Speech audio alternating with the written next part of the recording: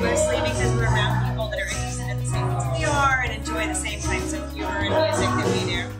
And the Golden Gays were fabulous. I thought the story was really interesting. It wasn't just a show or an act. It was actually a story to follow. There was a bit of a mystery. So I really Involve enjoyed the audience. Involve the audience.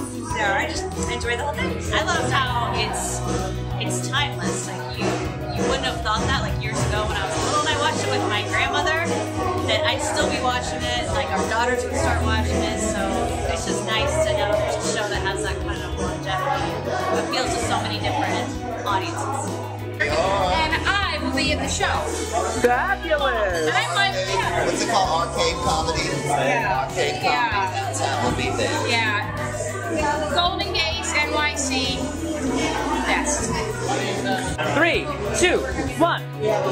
So we first met at Golden NYC at a theater in Fort Lauderdale, and the show was so incredible that when they came back to Fort Lauderdale, we went to see them again, and now we're on the Golden Girls cruise with them, and we're wondering when we're going to get to see them again because they're so fabulous. So we're gonna keep track of their schedule, and even if we have to fly to wherever they are just to see their show, we'll do that, right? Hello, it is March 3rd. Doing wonderful on the Golden Girls program with these beautiful, absolutely gorgeous ladies. It has been such a pleasure. The show has been wonderful, and I bought everything. Buy it all. Everyone buy it all. Once in a lifetime.